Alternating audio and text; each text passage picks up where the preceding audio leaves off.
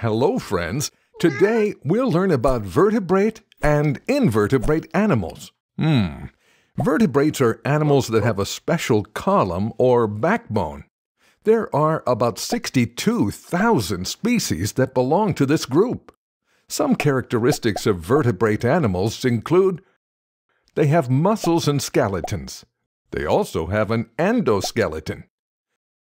All vertebrates have some or all of these systems skeletal system, muscular system, excretory system, nervous system, and immune system. Whoa! Let's see some of the vertebrate animals. Reptiles. They are cold blooded animals, meaning their body temperature changes along with the external temperature. Wow!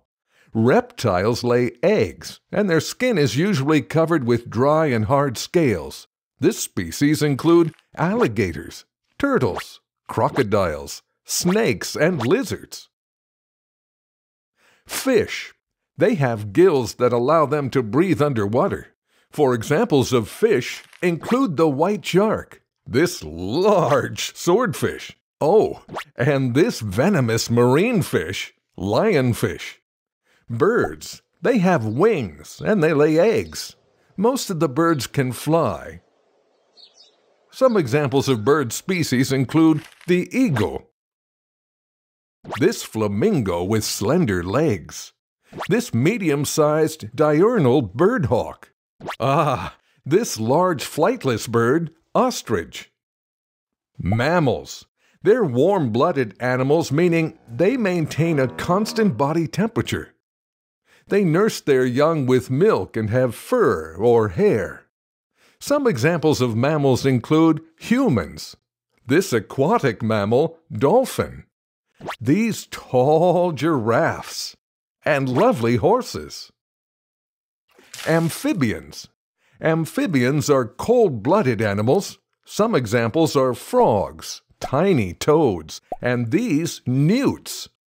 Now let's learn about the invertebrate animals. Invertebrates don't have a backbone, but they make up about 95% of all animal species. Mm, invertebrates have four common characteristics. They don't have a backbone. They reproduce by two reproductive cells. They are multicellular. They have no cell walls.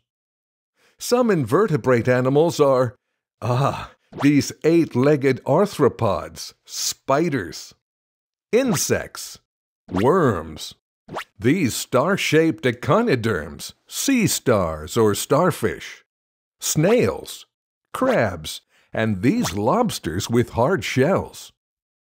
Now, you know a lot about vertebrate and invertebrate animals. Please drop a like Leave a comment, share the videos, and don't forget to subscribe. Bye bye.